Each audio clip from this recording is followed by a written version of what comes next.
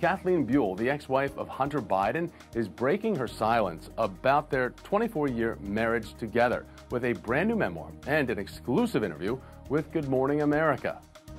He was struggling under a massive drug addiction, and that's heartbreaking and painful.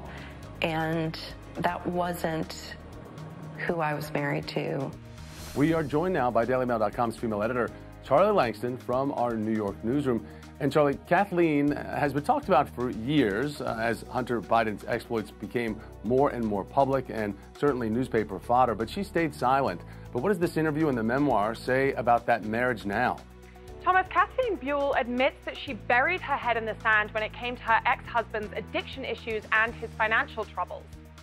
I liked the nice things, and I didn't want to think about the cost at which they were coming.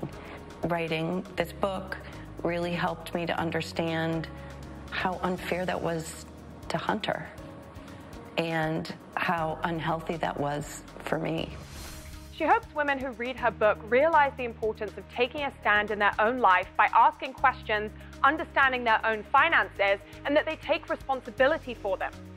Kathleen also opened up about the moment she learned Hunter was having an affair with her ex sister in law, Hallie Biden, after his brother Beau Biden died. Kathleen writes that it was one of her and Hunter's daughters who discovered texts between Hunter and Hallie first. The daughter then told their therapist, who helped to break the news to Kathleen. Since she and Hunter have divorced, Kathleen has gone back to her maiden name and she's battled stage 3 colon cancer. She says when she was diagnosed, she thought, I can't believe I was that upset about divorce. Kathleen also says she did tell Hunter about her memoir and that he told her it sounded like it was cathartic for her, something that she says turned out to be true, explaining it helped her to own some of the decisions that she's made along the way.